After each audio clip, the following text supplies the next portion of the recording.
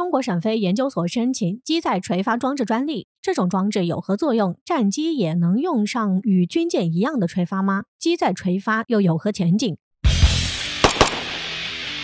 近日，中国航空工业集团沈阳飞机设计研究所的一张专利申请表火了，因为被申请的专利叫做一种机载内埋垂直发射装置。对于垂直发射装置而言，我们并不陌生，现在很多军舰上就有这样的装置。但加上“机载”这两个字儿，情况就变得微妙起来了。难道歼二零也可以用上垂发吗？根据申请表的介绍，这款专利属于垂直发射领域，涉及机载内埋垂直发射装置。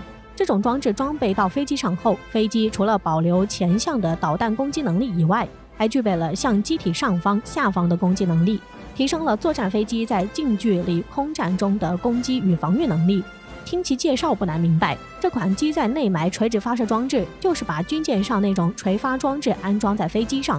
而通过申请表上的示意图可以看出，该垂发装置具备二十四个导弹垂发单元。设想一下，如果有一架战斗机一次性发射二十四枚导弹，并且无死角攻击，是不是很不同寻常？那么问题来了，战机真的有必要用上垂发装置吗？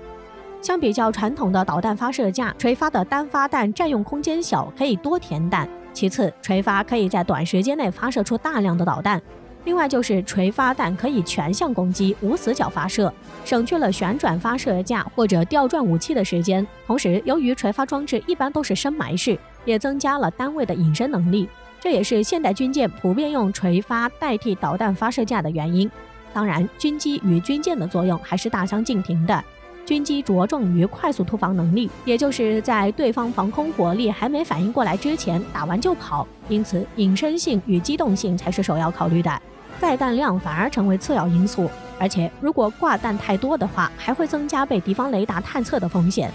如果能用垂发装置来解决战机挂弹问题的话，无疑是一项不错的选择，但却会牺牲不少内部空间与重量，因此这值得吗？随着全球局势的变化，大国纷争逐渐成为新的主题。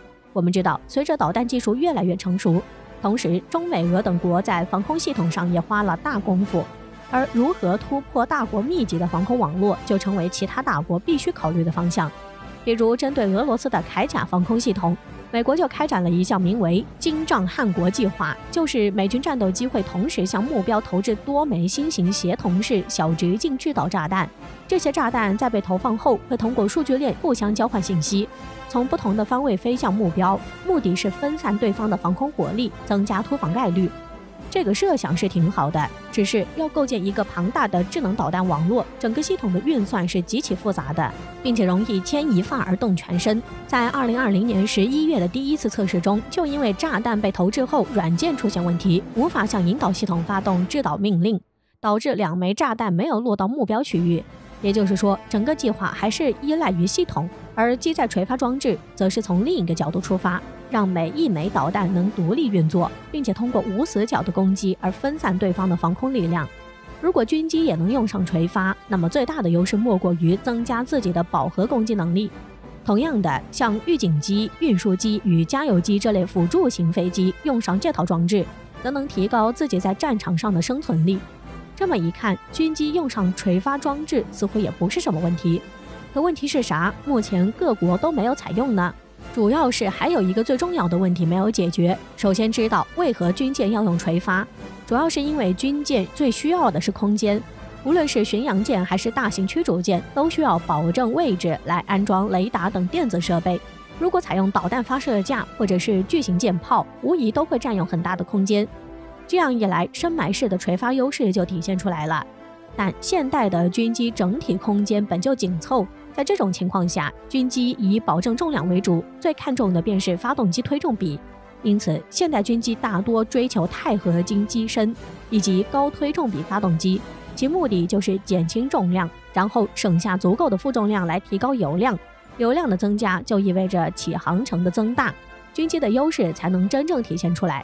相比之下，要不要安装垂发装置反而并不需要考虑，现代战机也不会给其留有多大的空间。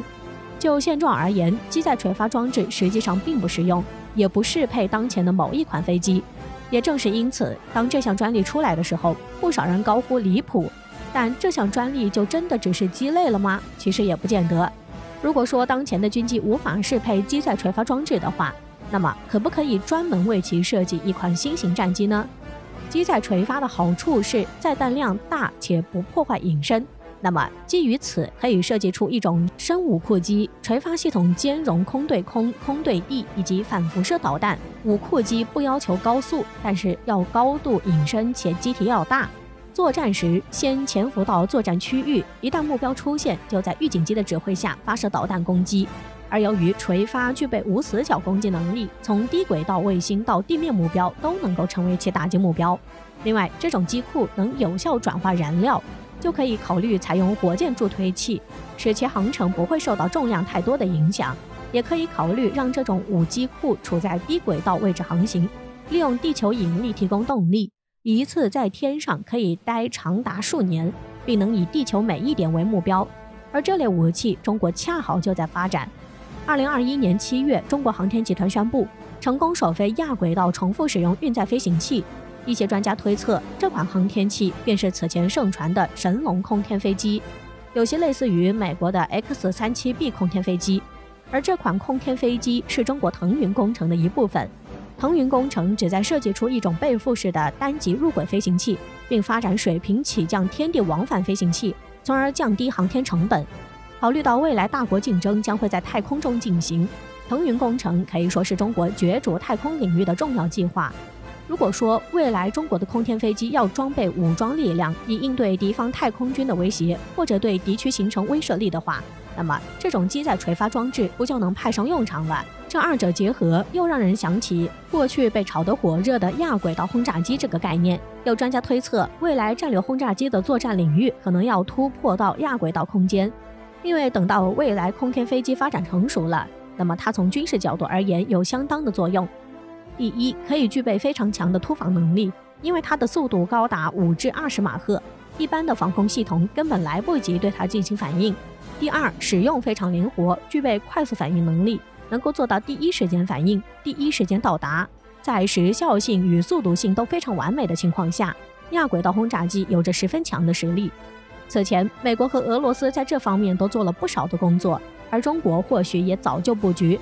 另外，去年中国国家自然科学基金委员会发布的“十四五”通稿上，还公布了一项名为“超大型航天结构空间组装动力学与控制”的理论研究课题项目。